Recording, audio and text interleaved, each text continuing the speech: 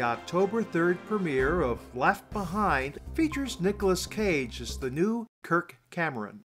No, actually, Cage plays a different character, but he does star in the movie. All kidding aside, I thought this would be a great time to introduce you to an alternate view of prophecy. It addresses inconsistencies with the rapture theory in a way that's true to the Bible. John Noe is joining us today from Indiana. He's the president of the Prophecy Reformation Institute and author of Unraveling the End and The Greater Jesus. John, thanks for talking with us. Hey, Steve. Uh, good to be with you today. It's good to be with you.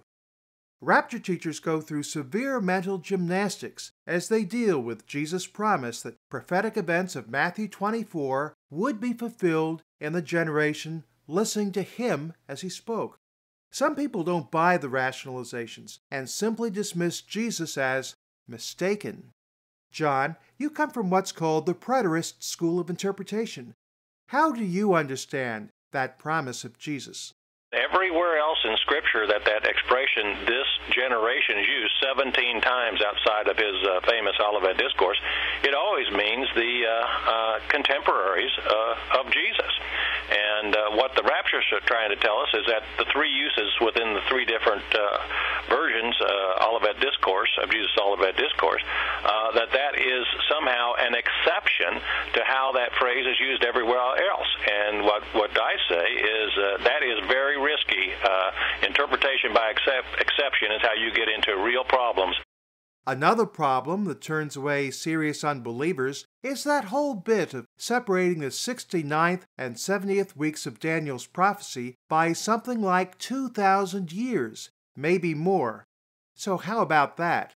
Well, in my two books, uh, The Perfect Ending for the World and Unraveling the End, the latest one, we show how Daniel's 490 years of his uh, 70 weeks prophecy was exactly, literally, sequentially, chronologically fulfilled. No gaps, no gimmicks, no exegetic gymnastics whatsoever. And as uh, uh, one of my hermeneutical textbooks uh, proclaim, uh, by called Introduction to Biblical Interpretation by Drs. Klein, Blomberg, and Hubbard, that the historically defendable ex, uh, explanation or interpretation is the most reliable. The rapture seems to be a well established doctrine, but you say it hasn't been around all that long. In fact, it turns out Luther, Knox, and Wesley never heard of it. So, what's the origin of the theory, anyway? John Nelson Darby under rather uh, uh, strange circumstances. Uh, he actually uh, received this as a vision from a 16-year-old Scottish lass named uh, Margaret MacDonald. And but prior to that, uh, it was never heard of in the church, and never was the church teachings. And then from then on, it just spread like wildfire. I know somebody's bursting to ask. Okay, well, what about the two famous rapture passages? 1 Thessalonians 4 13 through 18, and 1 Corinthians 15 50 through 58. John, how do you respond? That was never viewed in the in the church again prior to the 1830s as being a removal from planet Earth of a group of alive believers. It was always viewed as being resurrection verses of dead believers.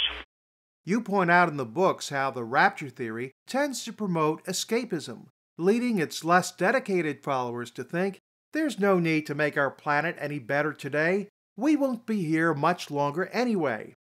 Any comments?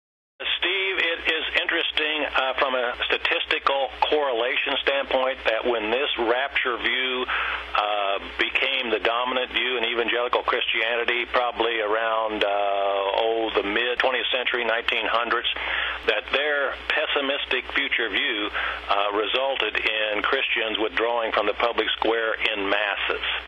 This is the third time I've read through your material. I recommend Unraveling the End and the Greater Jesus to everyone. Thanks for talking with us today, John. Well, it's been a pleasure, Steve. I tell you what, uh, this has been some of the most seductive and destructive teaching that has ever uh, come down the pike in Christian circles, and uh, we need to uh, address it uh, head on. Everybody, you can see John Noe on TBN's The Church Channel.